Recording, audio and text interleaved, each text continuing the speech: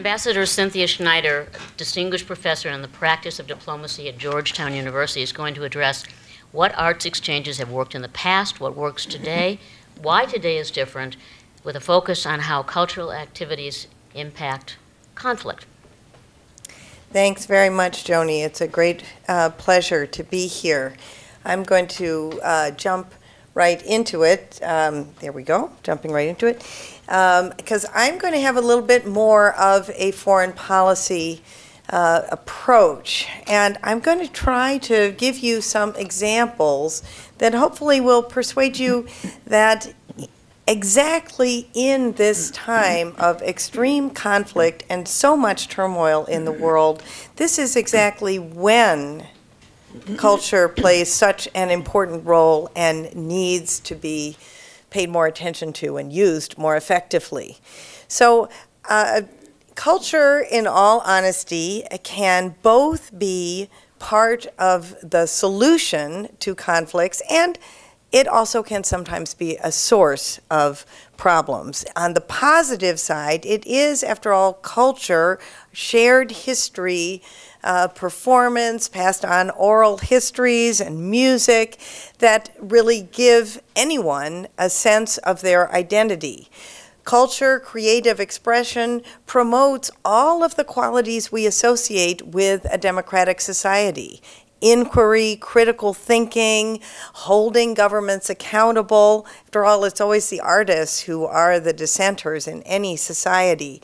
So for these reasons, a strong and healthy culture, it really provides the foundation for stable, healthy societies. Plus, in many parts of the world, including, of course, here, uh, culture can be a very important source for economic development on the negative side, uh, culture, and we could spend the whole night together talking about what culture means. Uh, culture, in the anthropological sense, can also be the rationale, not a rationale I, I believe in, but can be the rationale for repression, for holding particular groups back, such as, for example, women in some uh, parts of the world. So, uh, you know, there are positive and negative sides, mostly positive. And for those positive reasons, all of the empowering aspects of culture, that's the reason that extremists always target culture. And this cartoon, uh, where the man is saying, When I hear the word culture, I reach for my pick. Um, and there's a, these, this is reference to the extremist invasion of Mali in the spring of 2012 when the great uh, architecture, the mud brick architecture of the Renaissance period in Mali was attacked, the libraries were attacked, music was banned. Um, and sometimes I wonder, you know, extremists understand the importance of culture, such as, for example, the Taliban when they bombed the Buddhas in Bamiyan. They understand the importance of culture and the threat that it poses to their desire, whether they're in Afghanistan, whether they're the Khmer Rouge in Cambodia, their desire for complete control of their populations. They understand the significance of culture. Do we? It's interesting to look at the history of uh, cultural diplomacy in the United States. It has traditionally, I mean, it hasn't been a very long history, but in the past, whether it was in the lead up to World War II or whether it was in the Cold War period, there have been cultural surges, very strong cultural programs in response to conflict you know, where culture is seen as an appropriate way of uh, combating a struggle for hearts and minds and ideology. The one exception to that rule is the post September 11th period, which is very strange because we have been since then engaged in a conflict that is certainly more cultural than territorial. And yet, culture has not been really harnessed, um, engaged in this conflict. Now, while there are many lessons to be learned from the extremely effective Cold War diplomacy involving jazz and writers, uh, I don't think that's the exact model we need to follow now. We live in a very different era. We live, as you know, in an era of 24 7 communication, citizen journalism, uh, social media. Everyone is informed and connected all the time. And so the model of country A sending artists, just as Karen has explained, to country B is no longer exactly the model we want. Certainly a more collaborative approach is absolutely correct. And I would suggest uh, another way that culture is important, and that is culture as intake culture as a way to understand what is going on in other countries, looking to their cultural figures as a way to understand what's really going on. Think of the Egyptian revolution. Everyone in this country was, you know, all the policy experts were taken totally by surprise. Anyone who had been listening to music out of Egypt, watching movies out of Egypt, reading any of the blogs out of Egypt, the question wasn't, how could this be happening? The question was, why didn't this happen sooner? Because the artists always represent the voice of the people. And in many countries, governments suppress that voice. And so it's extremely important for the people making policy to hear that voice and to integrate it into the policy that they make. And I would suggest another model is then not necessarily to send Americans, but actually to leverage those local voices, to empower them to be effective in their own societies. Very often they are the ones who are espousing values values that we agree with, and I'll give you some examples. And this applies also to social media. I'd suggest that it's more important to read it than post on it. Uh, so we're going to uh, look at four case studies, four different countries. It's going to be kind of a whirlwind tour, but I want to give you some different examples. Uh, this motto, a nation stays alive whose culture stays alive, is the motto of the Afghan National Museum. And you're looking here at one of the examples of the extraordinary gold treasures from Afghanistan and another sculpture that is in the museum.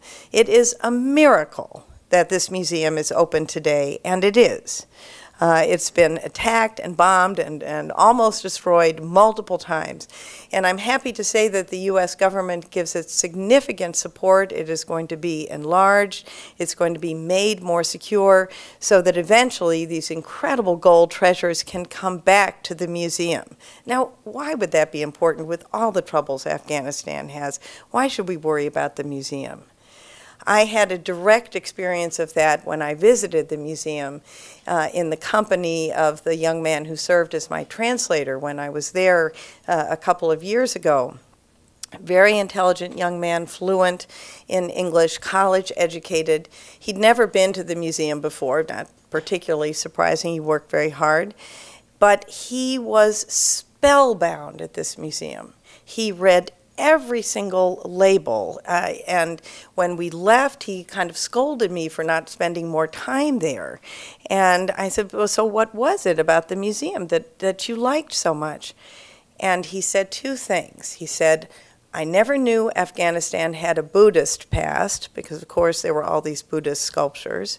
And I'm sure if I'd said, Wait, but don't you remember the Bamiyan Buddhas? Of course he knew about that. But that wasn't the same thing as understanding that his country was a center of Buddhist civilization.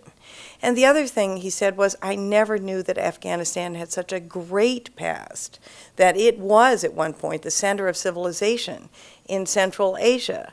Those two facts, think about knowing that the country once was Buddhist, what does that do to the extremist uh, narrative? And knowing that your country once has been grace for someone who's grown up in, in nothing but conflict gives you a completely different view on the future of your country and its potential. It's also been important in Afghanistan to revive contemporary culture. And one program that's been particularly effective in doing this is the Afghan Star program, which is based on American Idol. And I'm a firm believer in the importance of the American Idol model. If you believe me or if you don't believe me even more, you can check out my TED Talk. But the reason is that it is a meritocracy. And you're looking here on one slide is the first day of tryouts for Afghan Star in Kabul a few years ago. And you can see tons and tons of people, you will notice they are men, lining up to try out You will see women are important in this show also. This show, like American Idol, goes all over the country. Uh, people try out all over the country. You know, everyone has a chance, and just like American Idol, some people are terrible, and uh, some people are great. But in a country where tribal affiliations, family affiliations, and sadly corruption uh, are very important, a place where you succeed as an individual purely on your own talent is hugely important. This show, the singers, by the way, sing Afghan music. So it also revives familiar Afghan songs. This turns out to be a tremendous place of empowerment for women and minorities because women have a chance just the same as anyone else. Every year a woman makes the finals. A woman hasn't won yet. The show's in its eighth season. Uh, it's seen on Tolo TV, which is part of Moby Media, the largest independent media company in Afghanistan. A woman hasn't won yet, but I think the surest sign of success is that more and more women try out every year. Uh, and this uh, young woman on the right, I talked to just before she went out onto the television to uh, be the um, MC for the finals one year. And she dressed exactly like that on television. She lived a, a pretty restricted life in Kabul because you certainly can't go out like that on the streets. But she said to me, I do this deliberately. I am pushing open the door so others can follow after me. So this is a tremendous platform where a third of the country watches the finals, revives music, reminds people of their shared Afghan uh, heritage, and gives people a chance to prove themselves on their own uh, merits. Now, I don't want you to think that this is only Muslim majority countries who have these problems and face these challenges. In Cambodia, when the Khmer Rouge, uh, you know, exerted their reign of absolute terror, killing millions and exiling the entire country to labor camps in the countryside, what was the first thing they did? They went after the intellectuals and after culture, and they did their best to erase the extraordinarily rich Cambodian culture, which we in New York were treated to also at BAM um, a year and a half ago at the phenomenal season of Cambodia, which brought a month worth of incredible performances of all types, uh, including the famed Cambodian ballet, which was seen at BAM. But how does that country then grapple with this reign of terror, and how do they come back? The revival of culture has been hugely important, both for rediscovering their own incredible identity and history, and also understanding what happened and telling those stories, share, sharing those stories between generations. Rithy Panh, their best known filmmaker, whose Oscar nominated film, The Missing Picture, uh, attacks this story in an extraordinary way through these little carved figures that he made. But I love the, his quote where he says, I chose film, which shows the world, presents beauty, and also deals in words. I figure it keeps my fists in my pockets. Uh, and Rithy alone is, is, teaching a whole generation of Cambodian filmmakers, including this young woman, uh, who's this is a clip from a documentary film about this woman, this Cambodian woman, who was one of the many who was forced into, you know, quote unquote marriage. I mean, she was taken by a Khmer Rouge person and raped systematically for a year or so. This young woman from the countryside, not particularly well educated, was determined to find the man who did this to her. She did. She was followed by a young documentary filmmaker who made a film about it. She found this man. He went before the tribunal. He was convicted. And now, this young woman who actually experienced this um, is traveling all over the country telling her story, inspiring others, and showing the film and inspiring others to speak out. For the recovery of Cambodia, the economic recovery, which is also essential, uh, its culture has been hugely important. And you see Angkor Wat on the right, an incredible tourist draw, and that's, that's an essential part of the revival of the Cambodian economy. And uh, the traditional cultures, such as shadow puppetry, which you see there on the left, have been revived and now go on actually at the temple as part of the season of Cambodia. Those shadow puppets performed in Brooklyn, and something that was so moving. This is another part of this post-conflict recovery. A huge number from the Cambodian diaspora came to watch them, and they watched them weeping. They thought this was dead. They thought shadow puppetry didn't exist anymore. And to see it performed so beautifully and their own identity reaffirmed, and they then met the actual Cambodians who came, and all sorts of bonds were made. And that's another thing that will fuel that country in its continual uh, recovery. There are two examples where culture has played a role. Now I'm going to show you two where it's ongoing. Uh, I'm working currently on a project called the Timbuktu Renaissance, and the goal is using Mali in the country of Mali, where, as I'm sure you all know, Timbuktu is located. It's a real place, um, and this wonderful man, Salem Ould Elhadj, is one of the greatest scholars of Timbuktu, and he's standing in front of one of their famous carved doors. Um, and there's a, a, view of the Grand Mosque of Timbuktu in this extraordinary architecture that the extremists attempted to destroy but didn't. Um, a group of us are working to foster peace, reconciliation, reconciliation between North and South Mali, to counter extremism, and to promote economic development all through a focus on culture. And this, of course, makes tremendous sense in Mali because Mali is both an incredible historic center of Islamic learning. This is Dr. Uh, Haidara, who was the man you may have read the extraordinary story of the rescue of the manuscripts of Timbuktu when they were spirited out of Timbuktu in the middle of the night and sent down the Niger. Hundreds of thousands of manuscripts. These manuscripts are a treasure trove of Islamic civilization. They date from the Renaissance period same time as Leonardo da Vinci. They have scientific exploration. They talk about human rights, women's rights, animal rights, tolerance, plurality, all things that we don't particularly associate with Islam at the moment. Um, and so we are working to have them digitized. Others are working on this project also, have them restored, and most of all, have the story of these manuscripts and what they represent uh, be better known in the world and attract people back to Timbuktu to see them and learn more about this extraordinary civilization. And the other reason, of course, why Mali uh, is such a center of culture is for its music. Um, you may know that Malian music is actually the root of the blues. Bono calls it the big bang of all the music we love. Uh, and one of the great losses since the uh, invasion in 2012 has been the end of the famous Festival au Désert, which was a pilgrimage for musicians all over the world, including people like Bono, Jimmy Buffett, uh, Tom Freston, who's uh, here today, came, you know, made the journey not just to Timbuktu, but actually outside Timbuktu, if you can imagine such a place, uh, along with thousands and thousands of, of Africans from all over the continent and also from all over Mali, north and south, totally united to hear this extraordinary music, hear the people flocking there.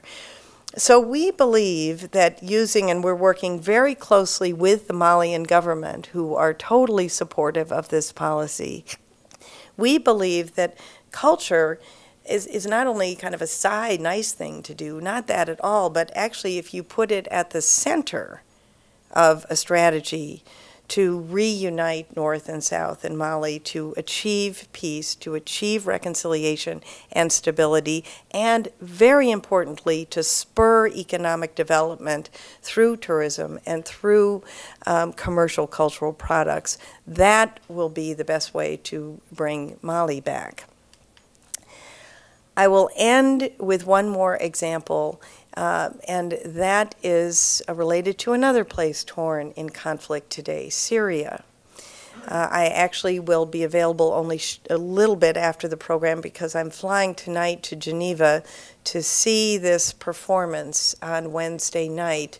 This performance of Syria, the Trojan Women.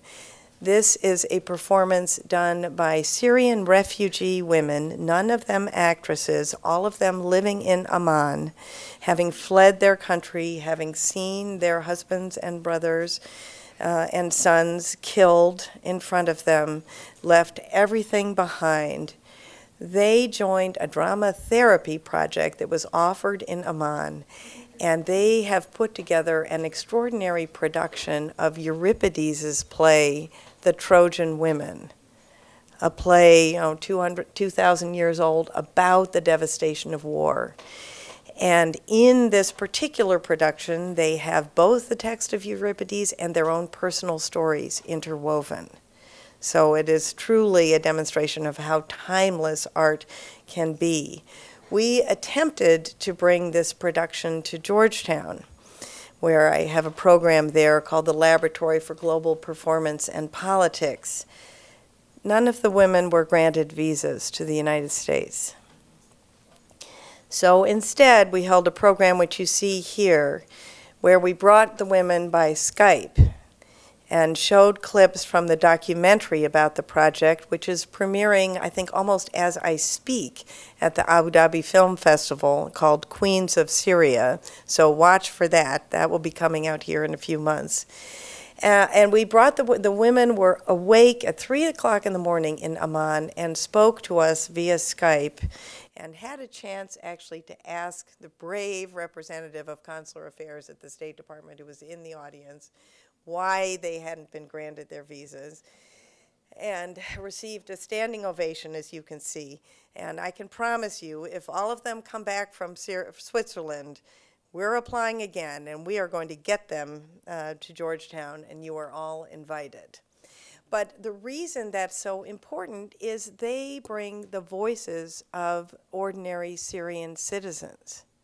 You know, how can it be that we only pay attention to ISIS, these, you know, few thousand extremists, when there are 200,000 people who've been killed in this conflict, 3 million refugees outside of Syria, 6 million interior displaced? Do we hear from them at all? Doesn't that pose a huge threat to stability and security? So we want to bring those voices uh, to you, uh, to everyone, hopefully, and you know have us pay attention to them as well. So, in conclusion, I think that culture is actually more important than ever at this time. And you know, if the extremists understand how important it is for their purpose, uh, why don't we? Uh, because culture and creative expression foster just the qualities that are needed for just democratic societies. And they provide the source of identity that equips people to build their countries in a stronger way and to resist uh, extremism and empowers uh, minorities and women uh, and provides the foundation for just societies. So, thank you.